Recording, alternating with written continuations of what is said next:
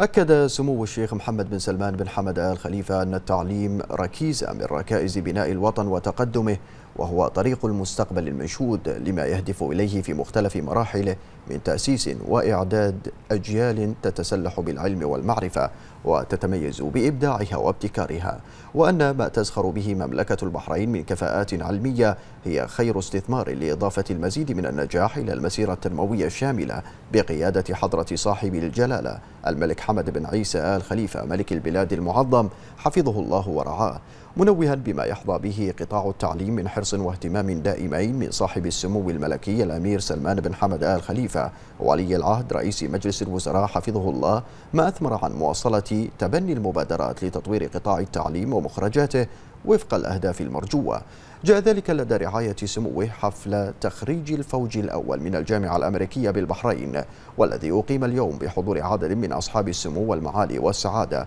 حيث هنأ سموه الخريجين على حصاد سنواتهم الدراسية وجهدهم ومثابرتهم العلمية التي أهلتهم لإتمام المرحلة الجامعية ما يعد لهم بداية لمرحلة جديدة تتطلب مواصلة العزم في مختلف ميادين الحياة بما يصب في خدمة الوطن وبناء المستقبل الزاهر. للجميع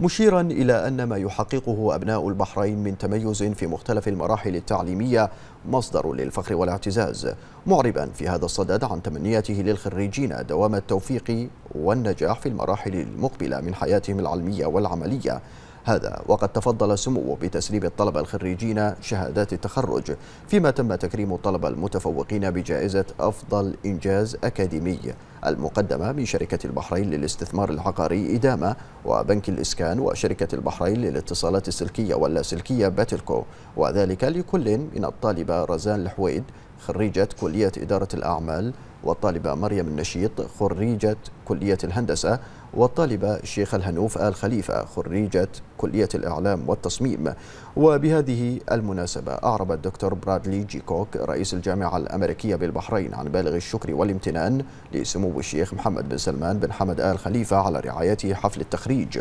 موضحا أن الجامعة تسعى لضمان تزويد الطلاب بنموذج تعليمي أمريكي متكامل في البحرين تماشيا مع أهداف الجامعة في تطوير برامج أكاديمية تتسق مع المعايير الإقليمية والدولية مؤكدا حرص الجامعة على مواصلة خططها التطويرية خاصة بعد حصولها على الاعتراف الأمريكي ضمن الجامعات المعدودة الحاصلة على هذا الاعتراف في منطقة الخليج والشرق الأوسط. من جهته قال الدكتور جيف زابوتسكي عميد الشؤون الأكاديمية إن تخرج الدفعة الأولى من طلبة الجامعة الأمريكية بالبحرين يأتي تكليلا للجهود التي تقوم بها الجامعة عبر التزامها بضمان معايير الجودة ومواكبة